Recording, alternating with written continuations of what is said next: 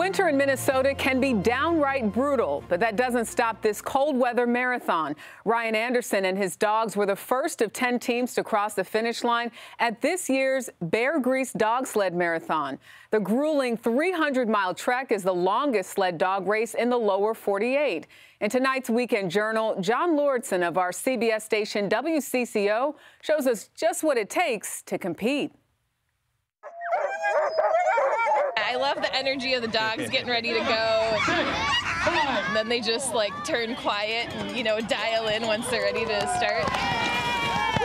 They are four legged athletes, Alaskan and Siberian Huskies, bred for whatever awaits them along the Beargrease.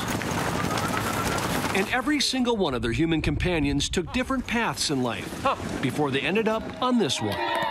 My parents have always been doing it since I grew up, um, and I just kind of grew up around the sport, so here I am doing it now. At 19 years old, Arrow Wallen is one of the youngest dog sledders in the marathon. He's even competing against his mom's team. It's uh, pretty exciting. Everything's kind of coming together. You know, this is what we all uh, wait for, train for, and get excited for the whole year, and now it's here, so it's ready to roll. Dry land training takes place year round, even in Alaska. They pull me on a four-wheeler on an ATV. Ryan Redington and his team made the 72-hour drive from the land of the midnight sun to Minnesota. He's a former Beargrease champion. It's a really tough race with the hills, and um, the competition is very good. The people of Minnesota are awesome, and um, yeah, it's going to be a good race.